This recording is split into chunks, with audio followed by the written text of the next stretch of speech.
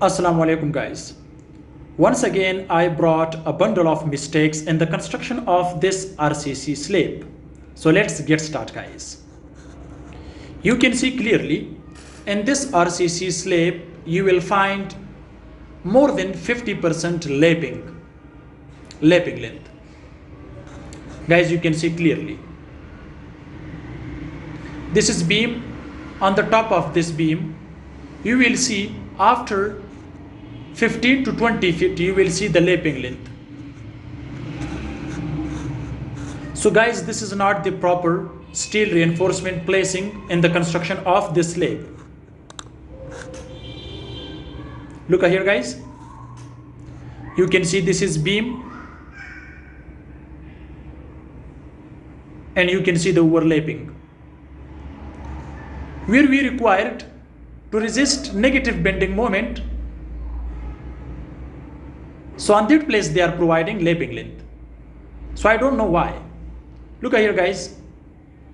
Everywhere you will just see lapping length in the construction of this slab. So this is the first slab construction of reinforcement which I am showing you. More than not 50%, more than 80% you will see the overlapping guys you can see after 14 15 or 14 to 18 feet you will see the overlapping in the construction of this slab guys they need to provide here extra steel rods are bent up bar. So everything is wrong. The spacing of look here guys this is the middle of this uh, residential building.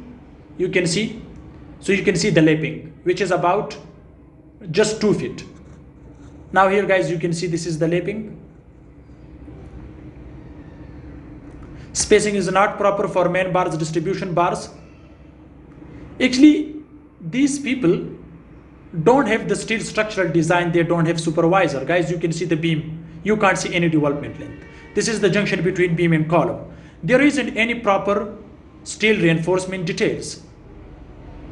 So when you are doing the job without structural drawing or a site supervisor, so you will see these kind of mistakes in the construction of this slab. Guys, everywhere in this slab, you will just find the overlapping for main bars and distribution bars on the top of beam in the junction at the middle at L by 4 distance, L by 5 distance. So just overlapping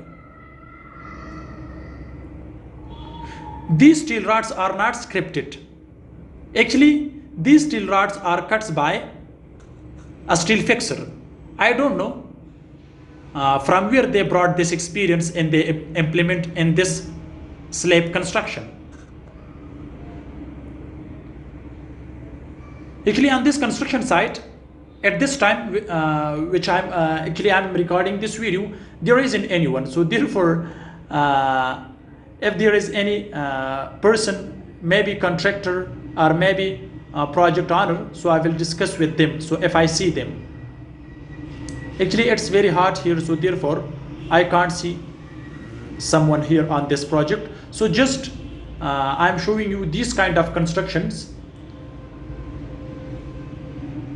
So you should avoid these kind of mistakes. Remember guys you can see the beam spacing of stirrups. It's steel reinforcement so everything is wrong. So this is uh, lack of project lack of dollars they will invest on this project. But guys you can see. Actually the main thing is steel structural design. So if you don't have and you don't have any idea so you should hire a structural engineer. They, they will give you the structural drawing. You should uh, provide uh, you, you should hire the a site supervisor to guide the steel fixer according to the drawing then you will not see this kind of bad job. Hope this video can help you. Thank you